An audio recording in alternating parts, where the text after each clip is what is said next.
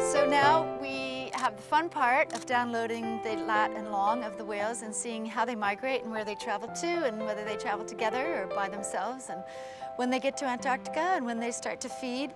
And hopefully we'll be able to tag some more next year. It's become a really cutting edge project for science and hopefully um, to fight politics also. It's nice when we can do both at the same time. Despite the many years of hunting the whales and uh, projects trying to study the, the whales, it's never been clear exactly what are the migratory routes, what do they do while in migration, what speed do they travel. Um, it's not clear the stock boundaries because we can, for example, we don't know, for example, if the whales on the Cook Islands and the whale on the rest of the South Pacific, like New Caledonia or American Samoa, if they do they migrate to the same area in Antarctica, do they have different uh, feeding areas?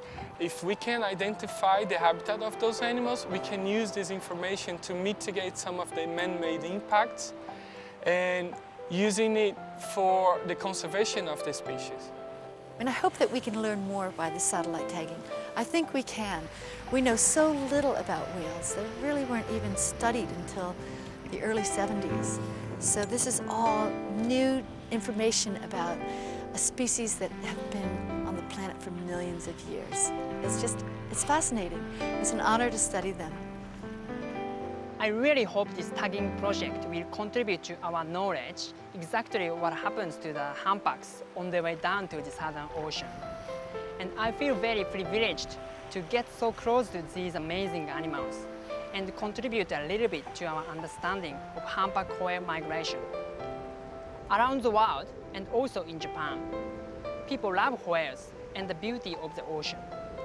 But I also know that whales face all sorts of dangers, such as climate change, drift nets, and ship strikes.